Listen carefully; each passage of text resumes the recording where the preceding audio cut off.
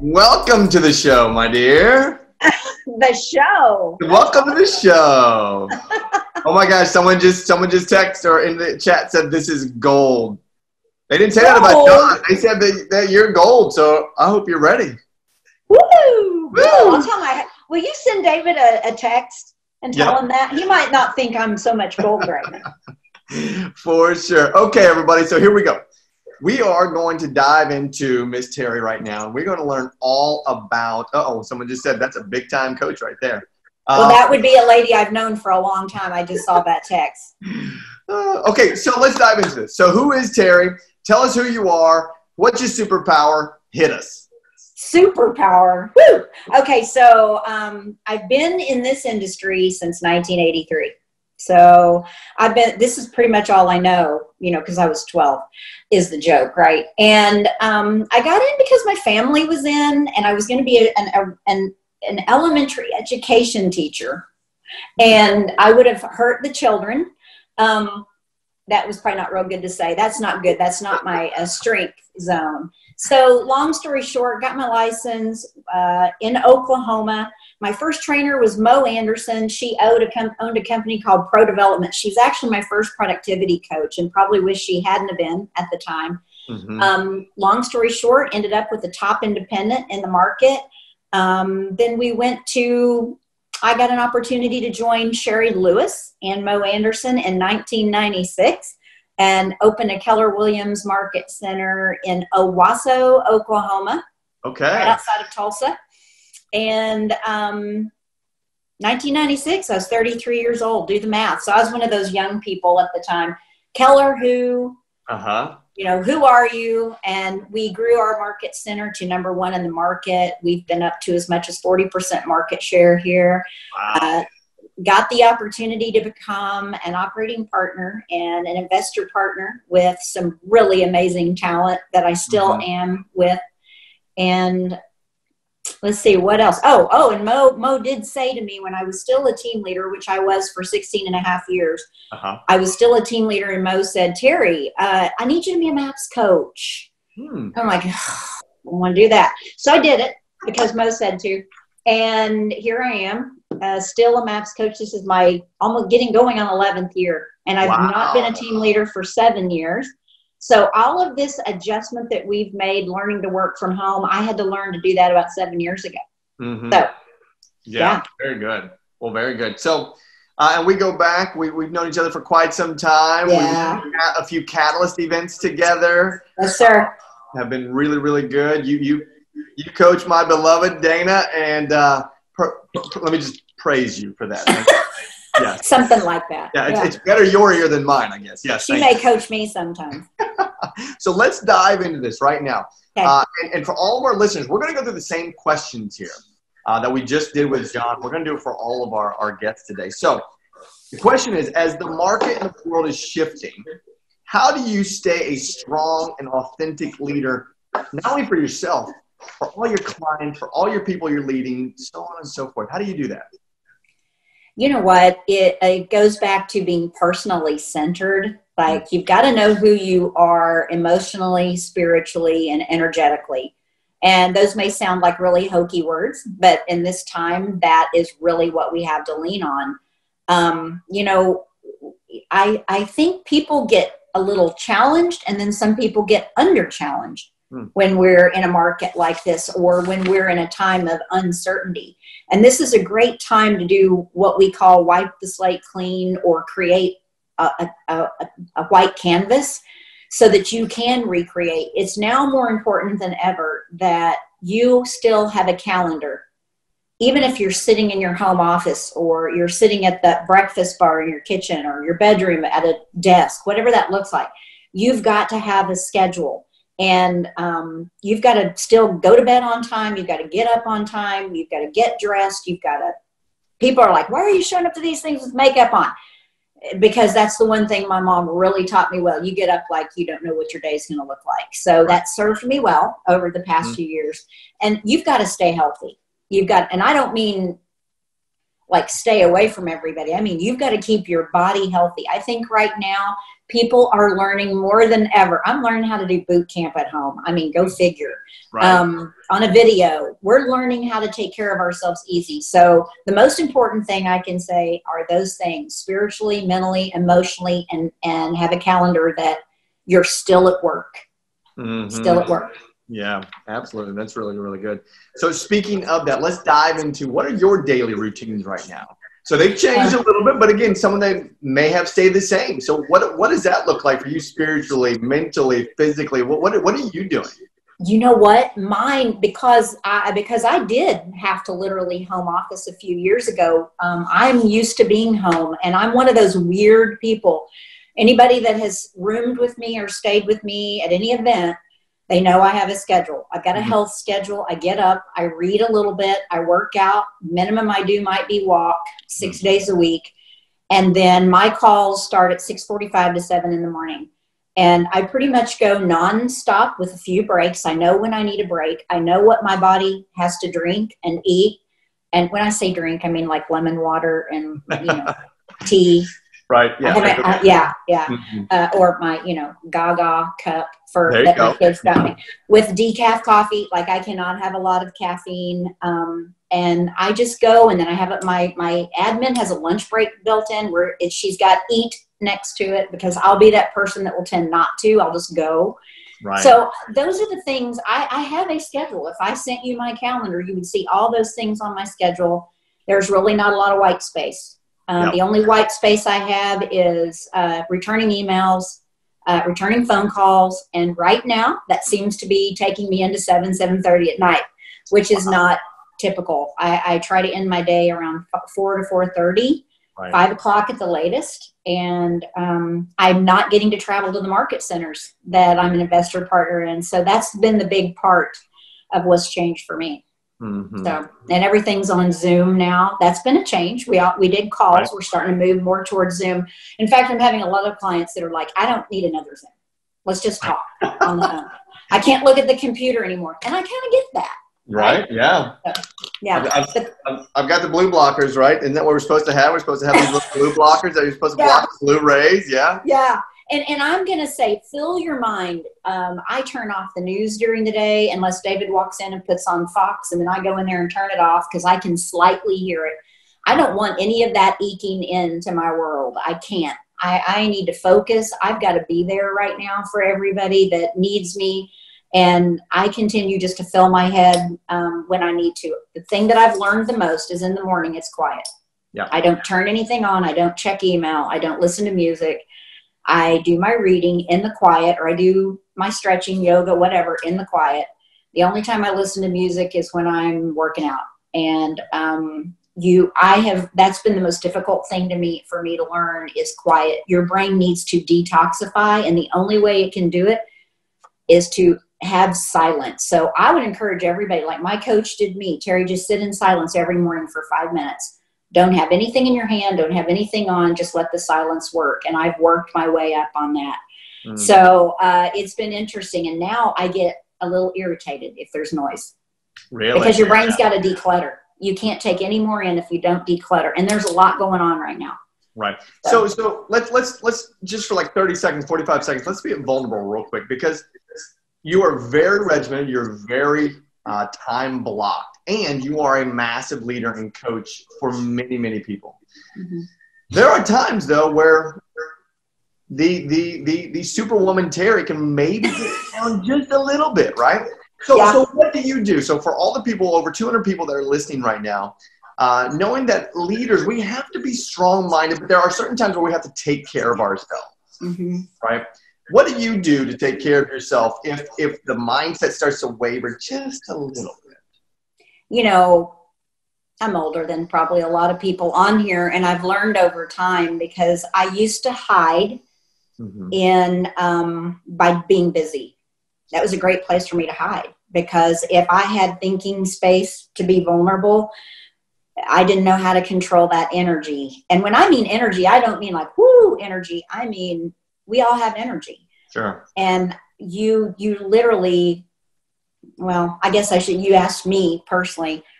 I literally know when I, I just have to shut off. So I have prioritized who I need to call back, who I need to text back, who I need to email back. And I literally still keep a, a spiral next to me everywhere I'm at, and I write down thoughts that I have. And at the end of the day, or people that have texted me or called me, I literally just keep it as a visual. Um, because at the end of the day, they really aren't an emergency sometimes. Yeah. And sometimes by the end of the week, they're not an emergency. And that has been a practice. So we have to first observe when am I feeling like this? Because if you don't start fixing it now, you will physiologically, something's going to show up. For me, um, my I was carrying Lyme's disease and I didn't know I had it.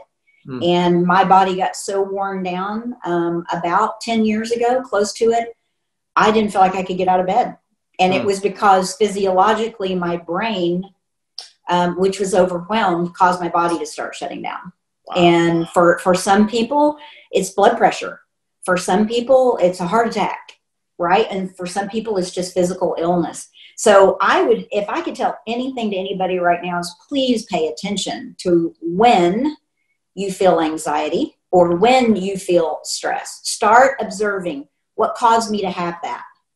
And where am I feeling it? Am I feeling it my stomach, my head, my heart? Because in in the brain world we call those chakras and they quite frankly mean something wherever you feel it mm-hmm. and you've just got to you can't control it until you observe where it's coming from and there may come a point um, it was like me when i stepped down from the team leader role i knew there was a point that that part of my life needed more of the me than what I was willing to give at that point. And those people needed more. They deserved more. Those people in that office deserved a whole lot more than what I was physically capable of giving them right then. Right.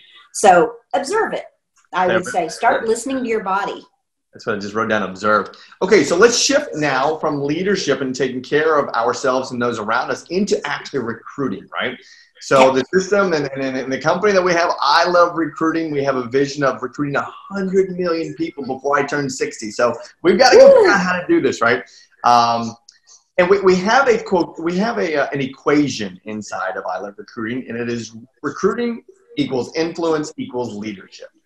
And that actual equation can, can be inverse as well. Leadership equals influence equals recruiting. Yeah. So let's talk about you as a an equation, right? The, the recruiting aspect of Terri. Um, what is it about you? What is it about recruiting that you actually enjoy? What, what is it? What, what type of energy does that actually bring you? You know what? Um, somebody asked me, Terri, how many people have you actually recruited? And the answer is, I know it's way up there. Um, However, I don't know who has come just because of the conversation that we may have had. Mm-hmm. Recruiting is not a one time event, it's a relationship and it is influence. And all they care about is that you, not that you know everything, they care that you know who to connect them to or what to connect them to. With, with everything that's going on right now and with technology, we're all having to learn a whole new different world I may not know the exact answer. I do know who to connect them to. And I know where to go get my answers from. Mm-hmm. So that's the thing. You know, John Maxwell says leadership is influence, nothing more than nothing less. We've heard that 100 zillion times. And I believe right now that is highly, highly true. I think that, you know, because of who we're connected to, um, mm-hmm. says a lot about where we are. The energy I get from recruiting is that people actually discover something they didn't learn before. Mm. So when they leave, I want them to leave my presence or my Zoom presence or whatever conversation. Let's just call it that.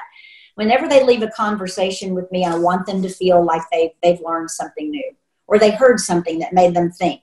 If I have the ability to make them think, that's all the recruiting conversation should be about. I love I, you, we can't change people's minds and we can't make them understand. We can help them think. Right. What, what, what are some of your practices or strategies on making someone think? Keep asking questions. Mm. Quit giving them the answer.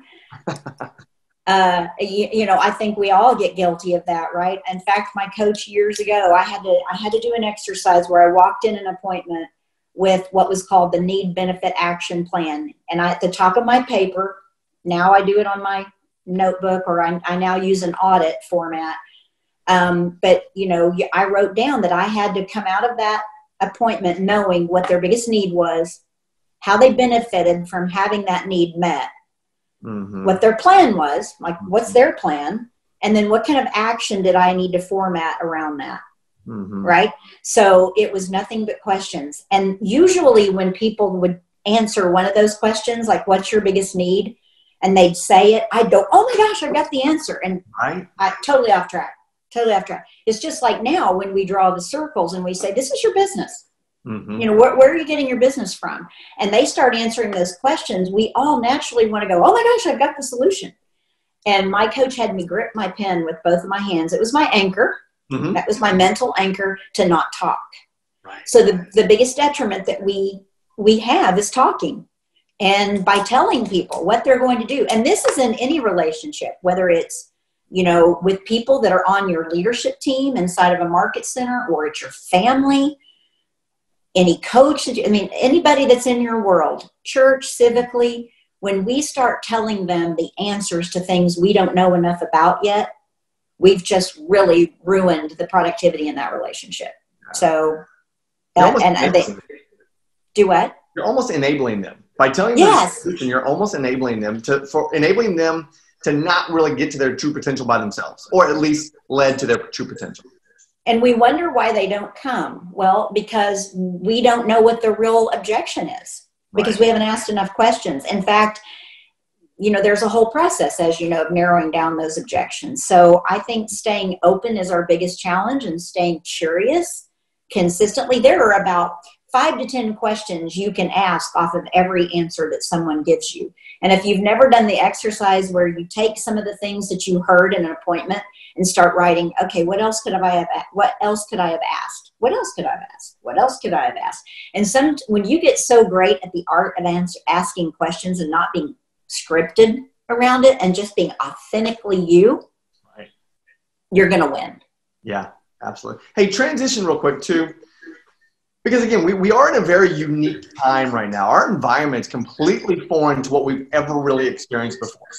Yeah. Now we've been in shifts before. We've been in economical shift, but maybe not like a pandemic shift. I mean, we've seen this in- No. when Brad Pitt usually gets out of it. But, but I mean, I'm not Brad. I, I don't know how this is going to end. However, some of the recruiters right now are a little apprehensive to recruit. yes, they are. What would you say to someone that is a little apprehensive to get out there and recruit or influence or lead? What I mean, what would you say to someone? How would you coach them?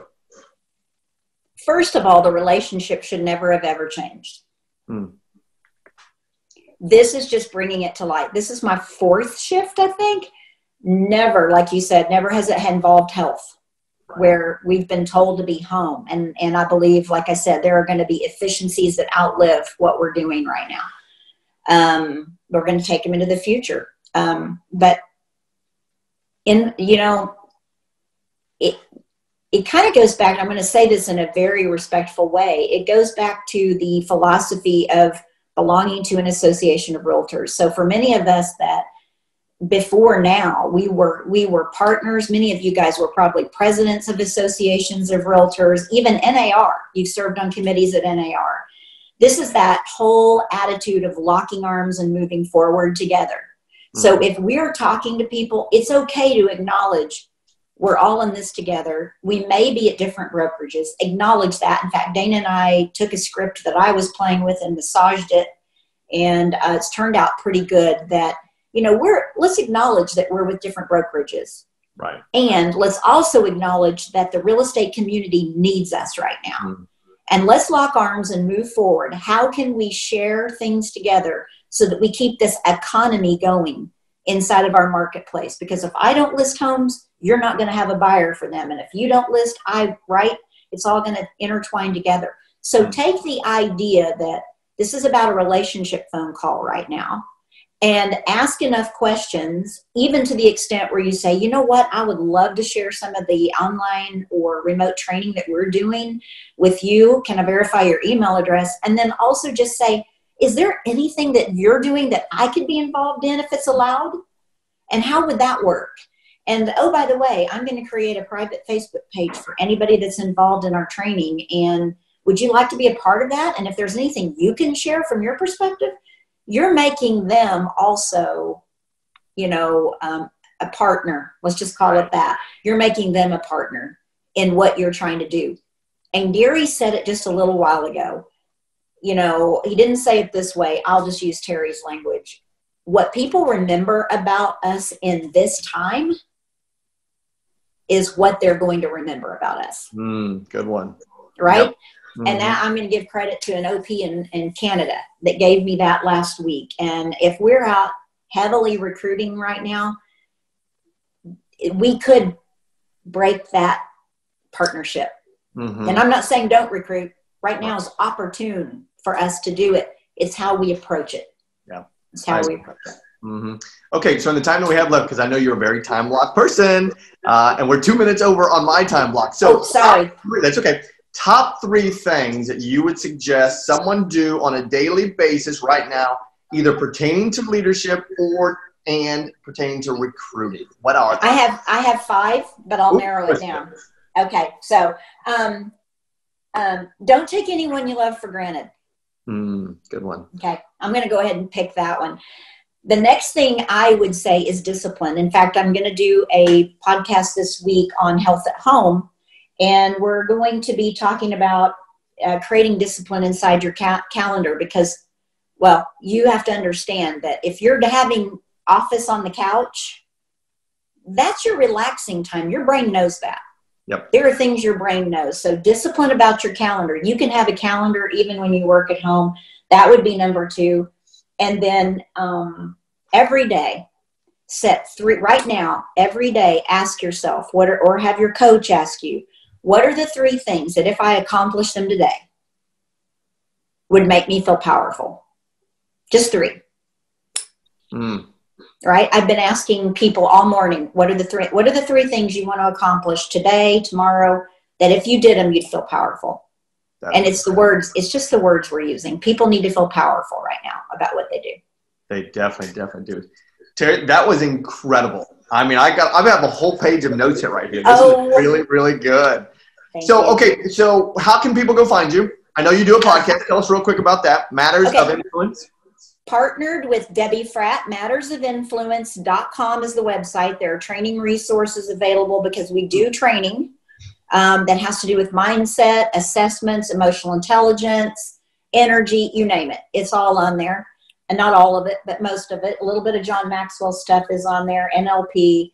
Um, and we have a Facebook page, mattersofinfluence.com. And of course, you can find me on Facebook, Terri Foster Nowland. I've kept that hyphenated name. Got one of the mm-hmm. longest names on Facebook. Sorry. if you want to email me with more questions, it's just Terrie, T E R R I E, at kw.com. Gotcha. Perfect. Okay. And everybody listening, uh, Terri will give us some scripts. She'll give us some things. We're going to post it on, um, well, they have to go to iloverecruiting.com and then we'll, okay. they'll put their names and we will send you any of the information that you give us, including where to find you in your podcast and how to go listen to your podcast because it is perfect. We love it. Thank you, my dear. Thank you for your time. This has been you incredible. Bet. Thank you, Adam. Absolutely. Love you guys. Stay well. We will talk to you soon. Okay. Have See a great day.